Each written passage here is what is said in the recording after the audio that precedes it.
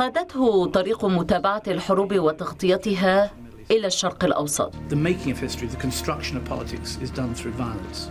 And I think that you're watching history happen and you're telling people about it. هنا يقول إن صناعة التاريخ والسياسة تجري من خلال العنف وإنه يريد إخبار العالم بما يشاهده بأم عينه نعم أنا روبرت فيسك صحفي إنجليزي من جريدة لندن تايمز. وصل شابا في التاسعة والعشرين من عمره إلى بيروت. كمراسل أجنبي في لندن تايمز شهد الحرب والمذابح في مخيمي صبرا وشاتيلا وبعد خلاف على التدخل التحريري انضم إلى صحيفة اندبندنت عام 88 When I joined the Times, لأكثر من أربعين عاما في هذه البلاد تنقل فيسك تغيرت ملامحه وبنيته وساحات تغطيته وبقي مشهد الحرب من حوله ثابتا. من حرب لبنان إلى حرب العراق إلى حرب غزة إلى حرب سوريا وبينها كثير من الملفات والنزاعات. لذا كان طبيعيا وسط هذا الانقسام كله أن يثير فيسك نفسه الكثير من الجدل بشأن تغطياته.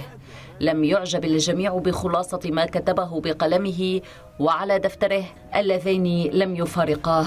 هو ناصر القضية الفلسطينية وتحدث بصوت جريء عن مجازر الاحتلال بحق الفلسطينيين.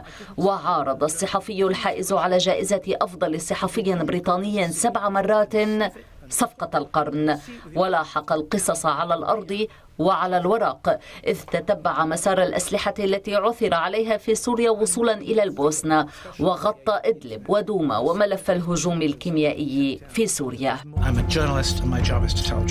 أنت تشاهد وتخبر الناس بما تشاهده وتتطور لديك الفكرة التقليدية بأن الصحفي يجب أن يكون محايدا وألا يقف في صف أحد لتصبح أنه يجب أن يكون محايدا ولكن عليه أن يقف إلى جانب أولئك الذين يعانون. هو يقول أيضا إن الشرق الأوسط يشبه الرواية العظيمة التي تقرأها ولا تستطيع التوقف.